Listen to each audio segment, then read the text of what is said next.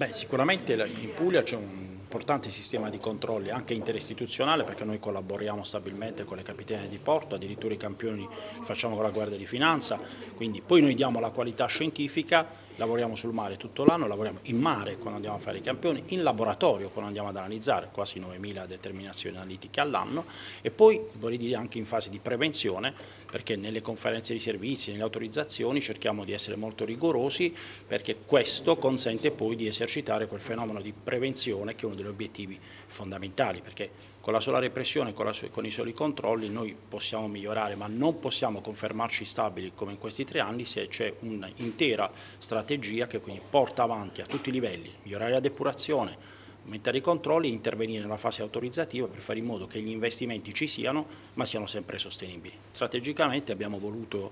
realizzare un centro mare che plasticamente è una sede diversa da quella della direzione generale perché noi vogliamo che su questi temi ci sia un'identità chiara dell'agenzia perché riteniamo che il mare debba essere al centro delle politiche ambientali pugliesi ed evidentemente anche di quelle economiche perché i riflessi sul turismo, sull'economia blu sono tantissimi e avere più informazioni significa poter assumere più decisioni, avere migliori informazioni significa poter assumere migliori decisioni, questo aspetta la politica. C'è ancora qualche zona critica?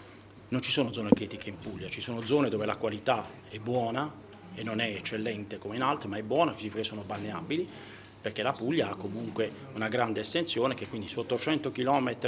di coste destinate alla balneazione ci sia qualche caso in cui è buona, non è eccellente, non ci deve certamente preoccupare più di tanto, tutti noi vorremmo arrivare al 100%, però intanto confermiamoci primi magari per il quarto anno di seguito, è già un grande secondo me risultato, poi se arriviamo al 100% la sorpresa che farà piacere a tutti.